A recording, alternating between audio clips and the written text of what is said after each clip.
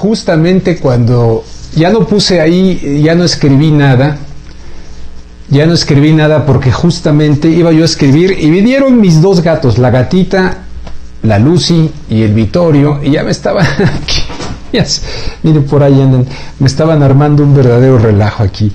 Este, eh, yo dije, hace rato hasta cerré la puerta, pero luego si cierro la puerta no pesca bien el, el, el, el wifi, ¿no? Bueno, anuncié, anuncié que iba a estar a las ocho y media de la noche transmitiendo en vivo. Estoy en la Ciudad de México, en la Ciudad de México, sufriéndola y gozándola. Se sufre y se goza la Ciudad de México y parte del sufrimiento son eh, pues muchísimas noticias, ¿no? Entre ellas la de eh, la inseguridad de las mujeres en diferentes partes, pero también ahí en el metro y cómo las andan a salta, en fin, tanta, tanta cosa, pero, pero pienso yo que están tratando de hacerle frente. Pero el tema que quiero tratar en este en vivo, ¿no se escucha? Oh, qué caray, ¿cómo que no se escucha? A ver, ¿alguien me puede decir si sí se escucha? Porque la vez pasada me dijeron lo mismo. Y si no, pues quito el, quito el, el este audífono. Se escucha bien. Ah, bueno, pues muchas gracias, se escucha bien. Saludos Rubén, buenas noches desde Acapulco Guerrero, se escucha genial, bueno, pues está todo dar. Por eso me puse este porque aquí tiene micrófono, yo aquí no escucho nada, pero sí puedo acercarme, aunque tengo el otro micrófono acá, pero ese no lo puedo conectar aquí al teléfono. Me da, ah, también dice, se escucha perfecto, sí te escucho, ahí está, me escucha, escucho. O sea que ATM, ATM que significa a toda madre. Me da muchísimo gusto. Este, pues miren, quiero este, compartirles que estamos arrancando con Pastor Delgado, que es, eh, me ha ayudado muchísimo Pastor Delgado a entender mucho del lenguaje actual. Eh, este, hoy, mira, me mandan aquí ahora José Benavides. Este, ah, qué caramba, cojo. Bueno, ahorita que termine se lo mando porque va a salir el programa Contragolpe. Eh, eh, ¿qué dice aquí? Bueno, va a salir el programa Contragolpe y le envié una, un intro y un este, outro, decimos, una salida y una introducción para el programa Contragolpe, donde va a pasar lo que les quiero comentar el día de hoy, que estoy organizando, eh, no estoy organizando, ya está al aire el primer este, eh, podcast de Entre Noticias. Este primer podcast de Entre Noticias y los que siguen, mañana queda listo el siguiente podcast y lo pueden escuchar en rubenluengas.com y ahí ya hay diferentes Spotify, eh, iBox, eh, en fin, hay varias de estas cosas que, que, que Pastor es el que sabe de eso, pero ahí están. Los pueden escuchar y este primer podcast va a salir ahora allá en los Estados Unidos, en Los Ángeles, a través de KPFK de KPFK. Ahora que termine esto, se lo vuelvo a mandar a Benavides, que no lo puede bajar, no entiendo. Se lo mandé por WeTransfer bueno, ahorita vemos esa situación. Y este segundo, este primer podcast, y también el segundo que va a estar listo ya mañana, está dedicado a Venezuela. Algunas personas que vean ahorita rubenluengas.com han de decir, qué barbaridad, ya se convirtió esto en una página eh, de Venezuela, porque ciertamente casi todas las últimas notas que hemos subido tienen que ver con Venezuela. Lo que ocurre es que pues las subimos únicamente Pastor y yo si tuviéramos más manos, todo un equipo, etcétera, y la manera de pagarle a gente y demás, pues tendríamos, realmente hacemos ahí, no sé cómo es que hacemos tantas cosas, pero eh, la insistencia en esto de Venezuela no tiene que ver, aunque algunos tal vez no lo crean, pero no tiene que ver con el hecho de decir estamos a favor del señor Maduro o estamos en contra del señor Maduro, no tiene que ver con esa narrativa sino que tiene que ver con la convicción de que este caminito ya lo conocemos, ya lo conozco, lo viví en Estados Unidos, lo viví trabajando para Telemundo 52, dice, buena persona, buen periodista, ah, qué buena onda, Venezuela es el tema y es una situación muy difícil, totalmente de acuerdo. Totalmente, perdón que algunos no los se pueda leer porque si no me la paso leyendo los mensajes y no comento lo que les quiero decir. Eh, cómo se fue fabricando, manufacturando la opinión pública, se fue construyendo en los Estados Unidos, Y debo decirles, como se los comenté la vez pasada, lamento mucho, ¿eh? hace poco tuve algún intercambio de opiniones con, con alguien a quien estimo allá en los Estados Unidos y está absolutamente perdido en el espacio, es periodista, ¿eh? pero absolutamente perdido en el espacio. Es una pena, eh, realmente, como estaban perdidos antes del 2003, muchos, muchos colegas, por ahí ¿Dónde fue que dije? Y se los digo ahora, se los comento ahora. ¿eh? Ah, pues creo que en el podcast. No voy a decir el nombre porque no, no, no me gusta así quemar a la gente, pero hay un periodista famoso, famoso, que eh, cuando la guerra de Afganistán y todo eso, se frotaba las manos, me había invitado a su casa a comer y dijo, es que de esto comemos. Híjole, yo por dentro dije, no puede ser. Pero para que se den cuenta la calidad de ciertos personajes que tienen un, repito, es famoso, es muy conocido en Estados Unidos. Y me dijo, es que de esto vivimos. O sea, de los muertos, de los heridos, de los bombardeos, etc. Yo ya había realizado mi tarea antes de todo eso. ¿Dónde tengo esos? Ay, no, no, los tengo ahorita aquí a la mano para mostrarles, pero uno de estos personajes es Scott Reader, quien fue eh, inspector de los Estados Unidos, Naciones Unidas en Irak. Y él, cuando tuve contacto con él, evidentemente todos sus materiales, sus libros, etcétera, yo llegaba a la televisión ya con toda esa información. Y curiosamente, personas que se dedican a la información, pues nada más seguían el libreto. Ahorita en este momento muchos medios de comunicación son medios de desinformación. Son medios de desinformación. Hay una gran desinformación sobre lo que verdaderamente ha venido generando, acumulándose en Venezuela, sin que esto tenga las manos limpias el gobierno de Venezuela, no quiero decir eso, pero definitivamente, dice por aquí, entre noticias, podcast, rubenlongas.com, y aquí alguien lo está poniendo, me da muchísimo gusto. Eh, y después, créanme, recuerdo las transmisiones, recuerdo la frustración de saber que estos bárbaros, el señor Bush, criminal que debiera estar en una cárcel, junto con Tony Blair y este cínico de José María Aznar, que era entonces el presidente del gobierno español, se está repitiendo la historia.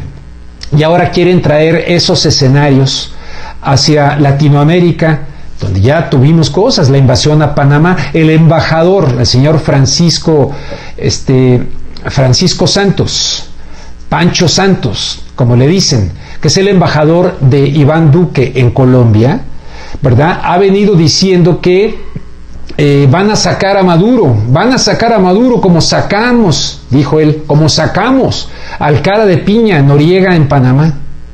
¿No se habrá enterado este cínico embajador colombiano en los Estados Unidos de la matanza de inocentes en el barrio del Chorrillo en Panamá? El fin justifica una vez más los medios. Quieren generar una guerra civil en Venezuela. Va a invadir, van a mandar marines, van a bombardear. ¿Qué van a hacer? ¿Qué van a hacer? Entonces, aquí de lo que se trata es incluso a los opositores, a los que odian a Maduro y los que tengan razones legítimas eh, por la falta de alimentos, por toda esa situación, los que tengan razones legítimas planteando eso, no tienen idea de lo que les, les espera y, yo les invito a que vean Libia, Irak, Afganistán, Siria. Y la vez pasada les estuve hablando del señor Elliot Abrams. ¿Cómo es posible que pongan para rescatar la democracia en Venezuela a un tipo que lo que ha hecho en su vida es aplastar la democracia? Es una gran hipocresía. Lo hablé con este periodista, eh, me contestó una serie de cosas y, eh, en fin, y me da pena porque ocupa un puesto importante, pero ah, en el medio en el que está así este periodista, se le ocurre decir algo en este sentido, vámonos. Yo allá porque pues estaba, yo estaba medio loco y lo dije y lo dije y lo dije, claro, los ratings subieron, subieron, subieron. Eh, pero llegó un momento en que ya la cosa de los ratings y tal ya no importaba, importaban otras cosas. Eh, pero no sé, yo me tomé muy a pecho esto del periodismo y el compromiso de la búsqueda de la verdad. La búsqueda de la verdad, porque yo no soy dueño de la verdad. Aprendo, estoy en comunicación eh, con antichavistas desde Venezuela, con los cuales intercambio. Oye, a ver, ilumínenme, a ver, ustedes que están allá, que viven allá, porque gente dice, no pueden opinar los que están fuera de Venezuela. No pueden opinar los que están fuera de Venezuela. Bueno, está opinando el Parlamento Europeo, el señor Trump está fuera de Venezuela, el señor John Bolton está fuera. No solamente están opinando, están en la conspiración, si le quieren llamar así. ¿Qué significa la palabra conspirar? Respirar juntos. Están respirando juntos para quitar a este gobierno de Nicolás Maduro y nosotros decimos lo que los, quienes lo tienen que quitar son los venezolanos. Los que tienen, y en las pasadas elecciones que califican de, de que no fueron correctas, resulta que gran parte de la oposición decidió no participar, que porque decía, no, no nos garantizan que sean limpias, ¿no? En el caso aquí de, de México, yo estoy convencido que hubo fraude del señor Felipe Calderón y todo este aparato en el 2006. Y de alguna manera también hubo fraude en el 2012 cuando se creó toda esta telenovela de Peña Nieto y con la eh, gaviota. Y ya ven que ahora ya anda con una novia, el señor por Madrid, una modelo. El papel de esta gaviota, ¿cómo se llama la señora esta? La verdad es que Angélica Rivera, pues es el, fue su contrato más importante de su vida, el ser la esposa de, de Peña Nieto. Nomás terminó esto y miren ya la gran farsa, ¿no? La gran farsa. Entonces, en este momento no se dejen engañar y tampoco me crean a mí. Realicen su investigación, piensen, duden de todo, porque hubo un señor que se llamó Edward Bernays. Les he hablado en anteriores ocasiones sobre Edward Bernays. El señor Edward Bernays fue sobrino de Sigmund Freud y es el autor de un libro maravilloso desde el punto de vista de lo que significa que es propaganda. Eh, Edward Bernays, sobrino de Sigmund Freud, al terminar esta transmisión, pónganle, busquen ahí en Google un documental que se llama The Century of the Self, el ciclo del, del yo, del, del self, es de Bernays, autor del libro Propaganda. Actualmente lo consideran como el padre de las relaciones públicas. Él mismo dijo que cambiaron el concepto de relaciones públicas por el de propaganda, el de propaganda por relaciones públicas, porque sonaba muy feo lo de propaganda. Déjenme decirles que esto se aplicó con todos los conceptos del psicoanálisis de Sigmund Freud, de su tío, se aplicó con el señor Woodrow Wilson, presidente de los Estados Unidos, para torcerle la mente a los estadounidenses, porque Wilson se había reelegido con la promesa de no involucrar a Estados Unidos en la guerra. Entonces dijeron, ¿cómo le vamos a hacer? Tenemos que cambiarles el microchip mental. Y lo hicieron, en gran medida se formó la comisión Krill, así se llamó, y este muchacho era muy joven, pero ya estuvo presente ahí en esta gran campaña de propaganda para influir en la mente del norteamericano y que entonces apoyaran la guerra o la, gran guerra que se han cumplido 100 años. la Primera Guerra Mundial.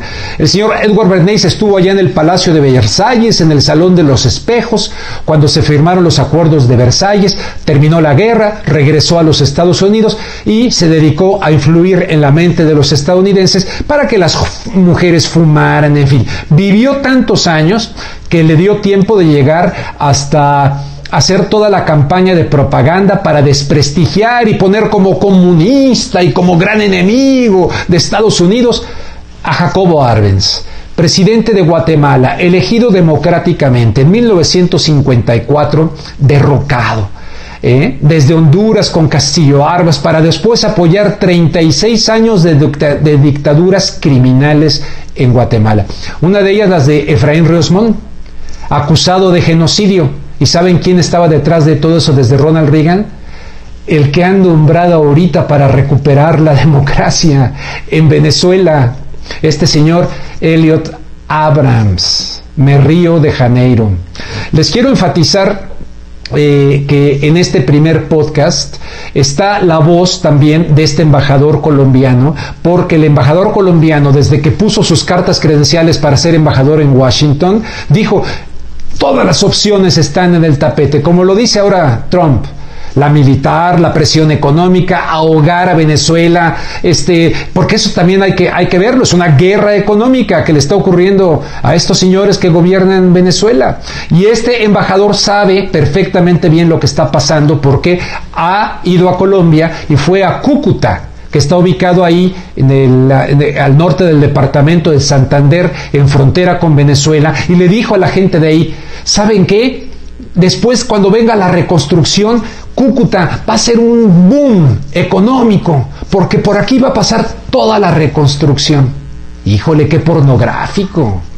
Qué pornográfico lo que ha dicho este señor Francisco Santos, quien además tengo entendido que forma parte de un grupo familiar que son dueños del 70% de medios de comunicación allá en Colombia. Me corregirán si no es así.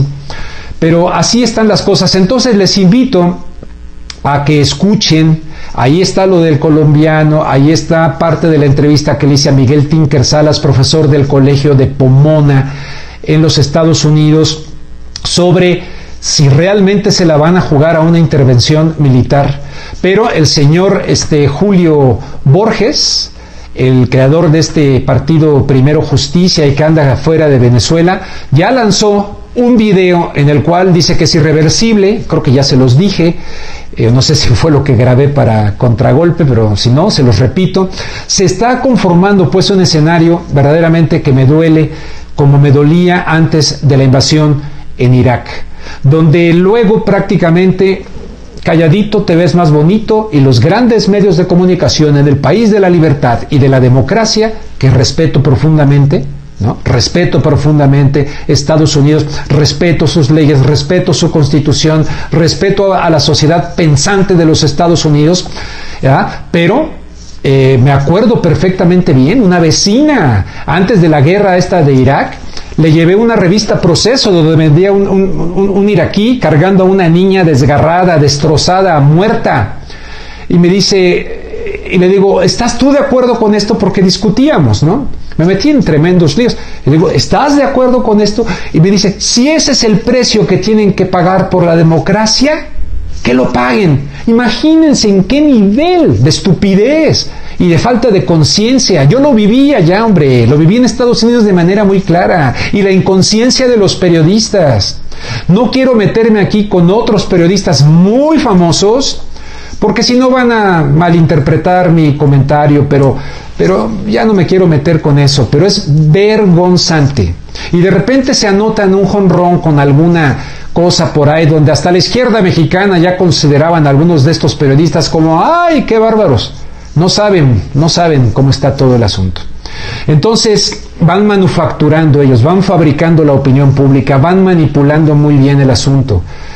Y en este momento lo están haciendo y hay también mucho silencio, no están diferentes puntos de vista, no están dándole las voces, están tejiendo la opinión pública, la fabrican.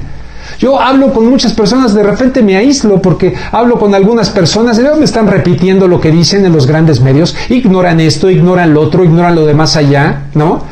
Por lo menos que le echen un, vistazo para tener el otro lado a, a Telesur. ¿Por qué no ponen Telesur? o RT y de repente vean el otro punto de vista. Dice por aquí Jorge Ramos, ah, caray, eh, alguien aquí menciona Jorge Ramos. Esto, entonces, eh, les invito en verdad, estoy haciendo un esfuerzo, gracias al apoyo de Pastor Delgado, para gravitar en los medios de comunicación alternativos, este tipo de transmisiones antes me daba un poco de, no sé, de veras medio de pena estar molestando los que oigan, vean aquí, pero la gente me ha estado pide y pide y pide que, lo haga. ¿Qué más dicen por acá? Dicen jajaja. sí, es el. Este, bueno, hay una información que voy a publicar mañana en mi página sobre Guaidó. Les pido que me ayuden a difundir el podcast en todos estos eh, eh, Spotify, en iBooks, ¿no? Este, Rubén, saludos, me dicen, pues igual eh, desde México, yo ahorita estoy aquí en México, eh, luego me voy a ir a Los Ángeles porque allá está mi querida esposa, allá están mis dos hijos, están estudiando mis dos hijos allá. Este, lo publicamos en Twitter, hijo, les agradezco, eh, y que le den a la cuestión esta. En verdad, es un momento, no se trata, porque luego en esto del periodismo hay muchas vanidades, hay mucho de yo y que seguidores, yo ni siquiera me gusta llamar seguidores, pues que seguidores, yo lo sigo mucho a ustedes, veo lo que dicen, es un intercambio, ¿no? Pero seguidores para la vanidad, ay, me siguen tanto, y luego por ahí me explican que hay eh, algunos que pagan y que inflan sus cosas para, ¿no? Saludo desde Pico Rivera, un fuerte abrazo. ¿Cómo se llama el podcast? Se llama eh, Entre Noticias porque así se llama mi página, Entre Noticias con Rubén Luengas. Los Estados Unidos han declarado la guerra a medios como Telesur y Sputnik. Pues sí, ya mismo RT. Saludos desde Ciudad de México. Su opinión de AMLO. Mi opinión de AMLO es que eh, se van a encabronar muchos conmigo de mis eh, familiares, porque tengo unos familiares por ahí, primos, y, eh, ¿no? Este, yo tengo que agradecerle a este personaje, ya viste el video, todos somos, ¿qué es? Todos somos Teresita, no, no lo he visto. opino que es un luchador necesario Primero, un luchador social de hace años, de hace años, ¿verdad? Que le robaron elecciones. Obviamente que también desde el extranjero dijeron a este güey hay que pararlo porque si llega no sé qué. Eh, y actualmente hay errores, sí, hay defectos, sí, sí, pero creo en este momento en su honestidad para hacer muchas cosas. Por ejemplo, ahorita estoy totalmente de acuerdo con la postura que ha tenido respecto a lo de Venezuela absolutamente de acuerdo con la postura que ha tenido y qué valiente. ¿Por qué? Porque si el señor Trump y toda su mafia de su corte, de estos hipócritas, el señor John Bolton y toda esta gente, lo, eh, fueron a presionar a la Unión Europea, fueron a presionar al señor este eh, eh, Pedro Sánchez, presidente del gobierno español, andan metidos en un lío, les dijeron tienen que apoyar esto. Las presiones que ha de estar recibiendo Andrés Manuel López Obrador y de las que vienen aguas, ¿no? Aguas, porque estos van con todo con lo de Venezuela. Y entonces él ahorita anda ahí, pues manejando las cosas, tratando de, está enfrentando mucha corrupción, muchísima corrupción, y están todos estos malandrines, el señor Fox, el señor Calderón, el otro anda ahí, ¿no? Con la novia, entretenido con la novia, Peña Nieto, pero los otros ahí están, dale y dale y dale, porque deben de estar así, así, mucha cola que les pisen, ¿no? En el Fox no me cabe la menor duda de que mucha cosa que cosa, eh, cola que les pisen. Entonces entren a rubenluengas.com, dice por acá, abrazo señor Rubén, muchísimas gracias. Luego, sí, gracias Rubén. Bueno, entonces voy a ver lo del otro video Qué bonito que sigan llegando estas cosas. Eh, voy a estar haciendo también más videos de, esta, de este corte, si me lo permiten. Y hablo así, miren, con pasión, porque soy, soy bien apasionado. Eso me ha costado a veces, ¿eh? Me ha costado a veces, tengo que... Pero me desespera que, se engañe tanto a la gente. En el caso de Venezuela, me aterra el ver niños. ¿Ustedes creen que las bombas y todo, pues no, no tienen así un, un, microchip para que vayan a matar a los maduristas o a Maduro? Morirían muchísimas personas inocentes. Y el cínico este del señor Guaidó, en una plaza y pública o no sé dónde, le pregunta a la gente, dicen en el extranjero que si tenemos miedo de una guerra civil, no, contestan los babosos, no, porque no, no, saben lo que están diciendo. ¿Cómo es que estos disquedemócratas y que quieren restaurar la democracia, ¿verdad? quieren conducir, ahora ustedes dirán, bueno, la revolución mexicana, este, eh, eh, con, Madero y Pancho Villa y todo, y fue a fin de cuentas una guerra civil, ¿no? Ustedes dirán, eso lo justifica. Aquí están con patrañas y, ahogando desde fuera, desde Hugo Chávez, hombre, a quien entrevisté aquí en Coyoacán, a Hugo Chávez. Eh, Hugo Chávez Frías. Les cuento la anécdota antes de irme. Hugo Chávez Frías lo entrevisté en Coyoacán, trabajaba yo para Telemundo, vino acá a ver a Ernesto Cedillo, pero resulta que tiempo atrás cuando Cedillo era presidente y había venido Clinton a Mérida, Yucatán, Fui a Mérida, Yucatán, estaba yo en el hotel hospedado entrevistando al secretario de Gobernación, a la Bastida, a la Bastida, ¿sí? Y de repente llegaron el Estado Mayor Presidencial, ya, ya, ya, ahí viene el presidente, que no sé qué. Entonces mi camarógrafo y yo, Héctor Orendain, guardamos el equipo y todo, y nos fuimos al elevador para irnos a, nuestro, a nuestra habitación, a nuestras habitaciones, y empezar a hacer la edición del trabajo que teníamos que entregar. El Estado Mayor Presidencial pensaba que íbamos a entrevistar a Cedillo, que venía por el elevador. Y entonces se enfrascó mi camarógrafo así grandote, se enfrascó con ellos y lo empezaron a golpear. Entonces le entré yo también a defenderlo y terminamos a golpes con el Estado Mayor Presidencial. Recuerdo que José Gutiérrez Vivó me entrevistó en Monitor al día siguiente de esta cuestión. Bueno, tiempo pasado voy a Coyoacán, Allí había una imagen de la Virgen, esta, eh, de la Virgen de, ¿cómo es? De Coromoto, ay, se me olvida, es de Venezuela, discúlpenme, en, la plaza de San Juan, en la iglesia de San Juan Bautista en Coyoacán, salía Hugo Chávez y le grité, presidente Chávez, presidente Chávez, y vino. Bueno, nos tiramos media hora. Es más, miren, aquí tengo la fotografía. Ay, Dios mío, ¿dónde está? No, creo que no está a la mano, pero luego les busco la fotografía en el relajo, porque estoy acomodando aquí. Bueno, este, y resulta que los guaruras que estaban cuidando a Hugo Chávez son los que nos golpearon a mi camarógrafo. Y se la tuvieron que tragar. Y nos tiramos media hora. Y era un placer escuchar, a mí me encantó escuchar a Hugo Chávez ahí, tenía mucha cultura, tenía mucho que decir. Este, en fin, pero ya me estoy ya saliendo del tema. Eh, ya les dije que va a ir el señor este, esa es, esa es muy importante, anótenla Anótenla, va Iván Duque a reunirse con Trump. ¿A qué va? A continuar con el rollito este, ¿no? Este, luego, tengo aquí otra. La ONU advierte contra politización de ayuda humanitaria en Venezuela. Caballo de Troya, ayuda humanitaria, sí, sí, los espejitos y unas cercas para que detrás vengan las tanquetas y todo. Y luego para beneficiar ahí este señor a Cúcuta, allá en el norte de Santander. Es verdaderamente inmoral. Eh, ya les dije lo otro. Hay mucho, es que hay muchísimo. Me termino diciéndoles de Baltasar Garzón. Dice, el gobierno de Maduro es totalmente legítimo. El jurista español Baltasar Garzón respaldó al presidente venezolano Nicolás Maduro, cuyo gobierno calificó de totalmente legítimo y cuestionó a los países que reconocieron al autonombrado presidente de la Asamblea Nacional, Juan Guaidó.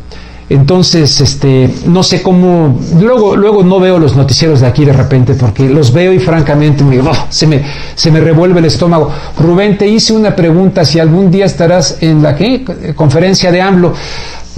No quiero hacerle al Dino Canún, no, no, ir a qué, es más, no sé si me, no tengo acreditación, no, si llego y les digo que soy de Entre Noticias, rubenluengas.com, me dejarán entrar eh, saludos desde Ecuador, estimado Rubén.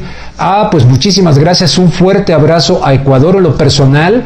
Entrevisté al presidente Rafael Correa, que también le andan ahí sembrando cargos. No hay pruebas del famoso secuestro ahí también en Colombia. No hay ninguna prueba. Sí, por favor, vea las mañanas. Tus preguntas serían interesantísimas. ¿Me dejan entrar? ¿Puedo llegar a decir soy Rubén Luengas? Porque ahora ya ni se acuerdan de mí. Les voy a soltar una cosa. Le he mandado mensajes a personas que antes, cuando estaba en Telemundo y Univisión Radio y todo, me buscaban, ¿verdad? Y ahora les he mandado recados y todo, porque de alguna manera les soy absolutamente franco. Me encantaría regresar a los medios. Y yo sentía como que ya cambió un poco el paradigma, pero irle a hacer ahí al Nino Canún y esas cosas no, yo no es mi estilo.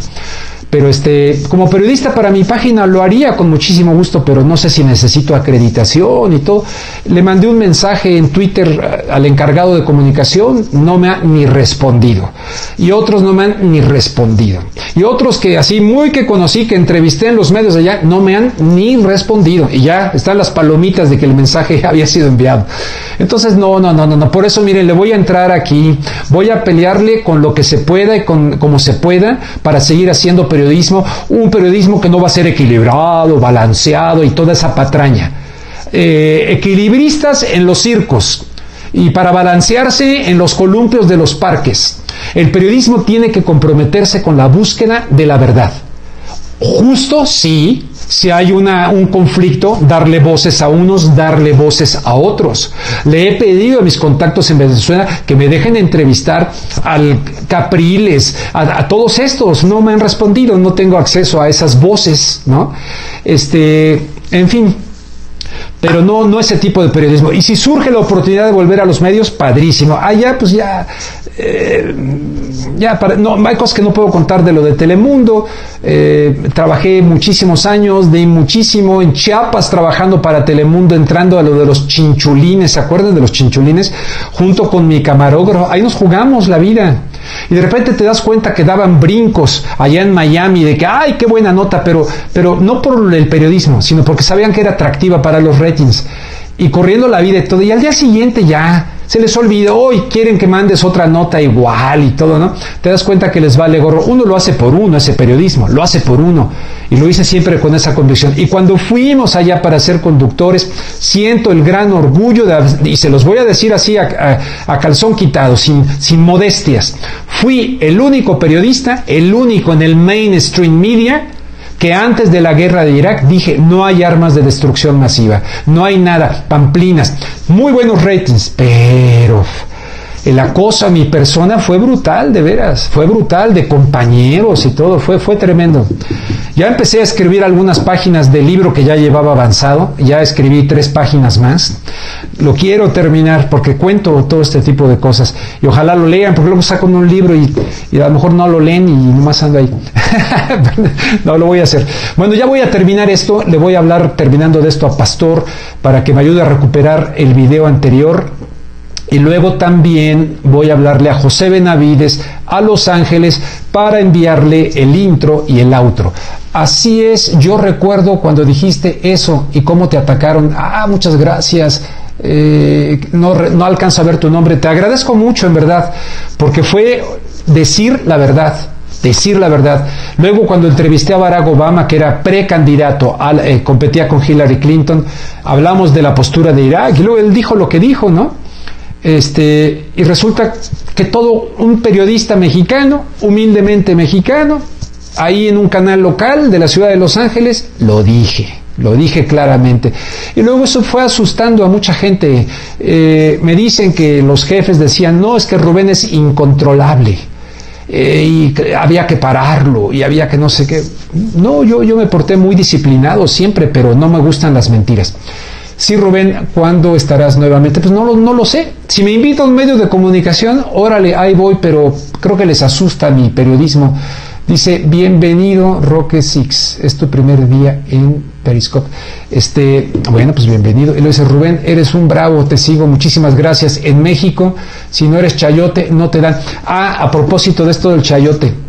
Lo digo, fíjense, públicamente aquí, me pueden investigar, pueden rastrear jamás he recibido nada que no sea de mi sueldo como periodista. Me acuerdo del señor este, ay, ¿cómo se llamaba? Eh, este señor, este, eh, ay, Dios mío, muy amable, este sí, un cubano que me contrató una vez para Telemundo y, y, me hicieron firmar mi contrato y en el contrato venía, yo no podía recibir ni siquiera un desayuno, un boleto de avión, un viaje de un partido político, de nadie, de nadie, para mantener la independencia y eso me encantó. Me acuerdo que este señor me dijo, oye, pero aquí nada. Le digo, eso es lo que me gusta de esto. Y lo firmé con muchísimo gusto. Y jamás imaginé que luego me iba a ir a, trabajar allá. Y híjole, y las cosas que tuve que enfrentar respecto a este tema. Pero ahí sí tengo que ser cuidadoso porque tuve que firmar, eh, cuando salí, tuve que firmar un asunto ahí, porque si no me iba a morir de hambre allá. Y yo no tenía ahí a la gente para que me apoyara acá como otros periodistas. Yo allá fue muy solitario, fue una cosa muy solitaria, se los digo. ¿no? que la he sufrido con mi familia, mi esposa, a la que adoro y quiero porque, entre otras cosas, me dio un apoyo brutal allá y en momentos bien difíciles, de veras difíciles. Este, ya, y no quiero emocionarme aquí, por eh, confrontar. Algo, un hermano me dice, eres un tonto, eres un Quijote. Eh, he seguido tu trayectoria y lo he sostenido. Eh, luego mis respetos, te admiro. Bueno, no, no, no lo hago por adulación, de veras no lo hago por eso. Tengo una, una eh, algunos aquí me van a. Yo antes de entrar, desde, uy, desde hace años, antes de entrar a un estudio de televisión, hacía una pequeña reflexión, una pequeña oración. Eh, mis padres me formaron en la religión católica, soy muy crítico de la estructura católica, aunque he conocido sacerdotazos que se la juegan, que, denuncian la injusticia, los he conocido. Eh, Eh, uno de ellos, José Luis Escondrillas, tremendo sacerdote que tuvo un accidente en la carretera de Puebla y mi hermano mayor, dos años mayor que yo, Alejandro, iba con él y ambos murieron. Pero fue un sacerdotazo, gente que de, primer nivel. Entonces, eh, perdónenme, pero soy creyente. Creo que hay algún ser cósmico que impregna el universo y siempre que entraba antes de televisión decía, ilumíname, ilumíname para cumplir con la función de dar algo de respeto a las audiencias, de respeto a los inmigrantes que están aquí en los Estados Unidos. No para mi vanidad, no para andar ahí firmando autógrafos.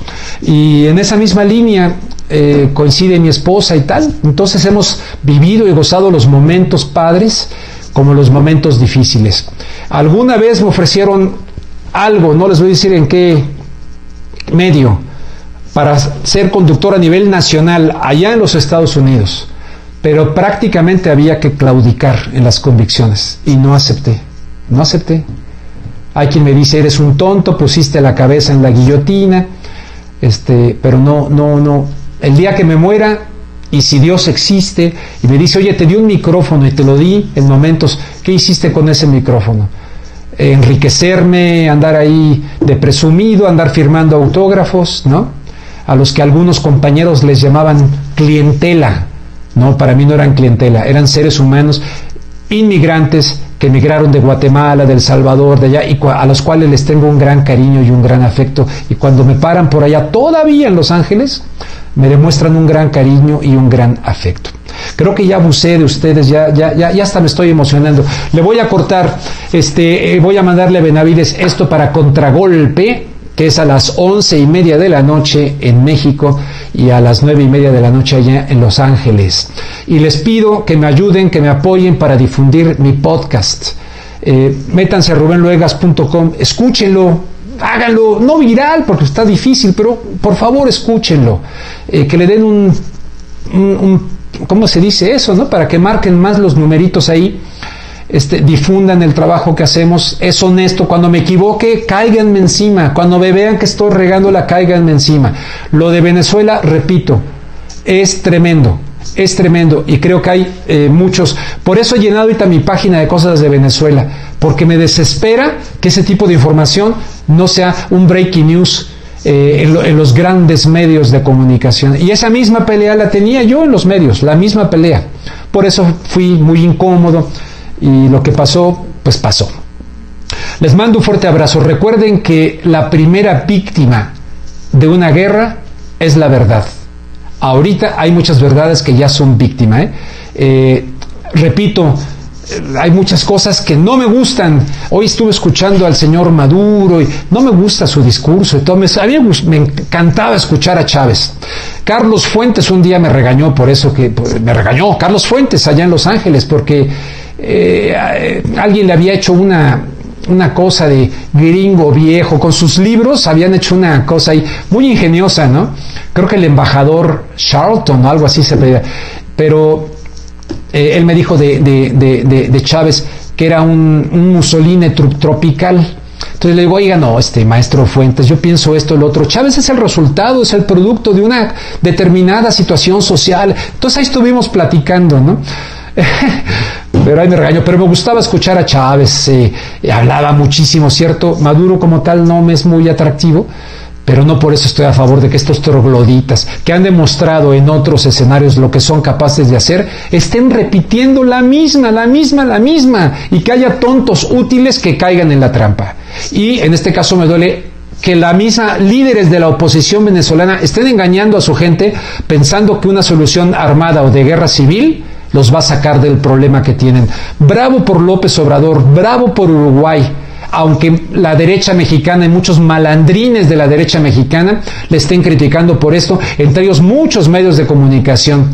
Este, eh, eh, alguien me preguntaba a López Obrador de la cosa de los guachicoleros. Oye, se está enfrentando a una mafiotota, a una mafiotota que los otros trogloditas presidentes dejaron pasar, que se enriquecieron. Pudiera estar ahí en los pinos, López Obrador, ahí, muy a gusto en los pinos. No, se está levantando ahí a las no sé qué de la mañana en Palacio Nacional para tener una comunicación directa y no manipulen también su información. Yo lo apoyo hasta que demuestre lo contrario y si regreso a los medios, evidentemente buscaré el ser crítico, porque no puede uno ser vocero de un gobierno, tendría uno que ser crítico. Cuando la, cuando la vámonos, darle, ¿no? Pero ahorita eh, ensañarse después de toda la porquería de corrupción. La corrupción en México ha estado coagulada en las arterias del país, de norte a sur, de este a oeste. Y por eso México se ha venido infartando. Los mexicanos somos buena onda, somos buena onda. Ahora, no voy a caer, por ejemplo, les voy a decir algo en lo que no estoy de acuerdo con López Obrador. Decir que el pueblo de México es buena onda. Bueno, mucha gente es buena onda, mucha gente no. Mucha gente son bien tranzas y te quieren transar todo el tiempo y no te regresan el cambio y te dan mentiras. O sea, no voy a idealizar a nadie, ¿no? Entonces, este, hay gente correcta y no hay gente correcta. Ahora, que en términos generales somos buena onda, si muchos extranjeros lo dicen, llegan acá y se van con la gran alegría de lo que podemos ofrecer en México. Estemos en contacto, les agradezco, dice aquí, el peje le van a criticar por todo, sí, su, eh, si si, bueno, los frijoles, no, sí, absolutamente, pero no solamente lo van a criticar, aguas, ¿eh? Estoy totalmente convencido que en este momento ya hay enanitos, trabajando para trabajando, no deseando, trabajando, haciendo planes, haciendo, ¿no? Y más con lo del tema de Venezuela, más con lo del tema de Venezuela, y queriéndolo llevar a ese terreno, pero estarán trabajando para que fracase, divide y vencerás, y para inocular odio en la sociedad mexicana. Y el odio no nos hace bien. Eh, bueno, me gustaría sus comentarios. ¿Les parece útil que siga yo haciendo estas cosas en vivo? Eh, la respuesta, porque no quiero yo ahí caerles, ¿no? dice, están preparando un ataque en contra de AMLO, sin duda.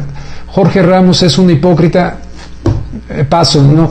Eh, saludos Rubén, este, ¿qué más? Este, sí, sí, sí, me dicen, bueno, entonces voy a seguir. Eh, una vez a la semana o dos veces a la semana. Les pregunto, ya estoy como López Obrador, en la plaza pública. una vez a la semana o dos. Échale ganas, claro que sí excelente analista. Sí, eh, sí, bueno, aquí te esperamos. Bueno, muchas gracias. Este, la otra vez me estaba yo tomando un vinito, un vinito. Ahora me serví, miren, nomás soy así, un poquito, no crean, miren aquí, un whisky, aquí un whisky, muy poquito, muy poquito de whisky y es, es, fino, no es barato.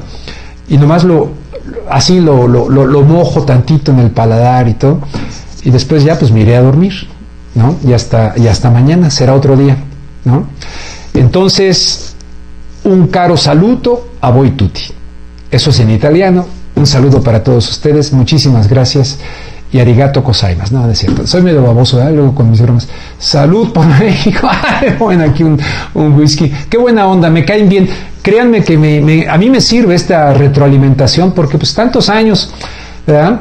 Me sirve leerles, verles y, todo. Muchísimas gracias, en verdad. Eh, la, eh, dicen que el agradecimiento es la memoria del corazón y siempre he tenido memoria respecto a la audiencia que me ha apoyado. Allá en Los Ángeles, cuando voy, de veras es hermoso, hermoso. No porque me recuerden, oiga, lo vimos en la tele, está usted en la tele. No, me recuerdan por el trabajo que se hizo, no por la vanidad de que estuve en la tele. Bueno, adiós. Ahora déjenme ver que esto se apaga por acá, Ámbaro. ¿Por dónde lo apago? Híjole, qué torto. Ah, desliza abajo para detener. Deslizo abajo para detener. Ahí está, ya deslicé abajo para detener y ahora voy a detener. Me compré un tripié, miren. Un tripié, ya no lo puse como la vez pasada. Un tripié, se ve, se ve chido, ¿no? Gracias. Hasta mañana, buenas noches.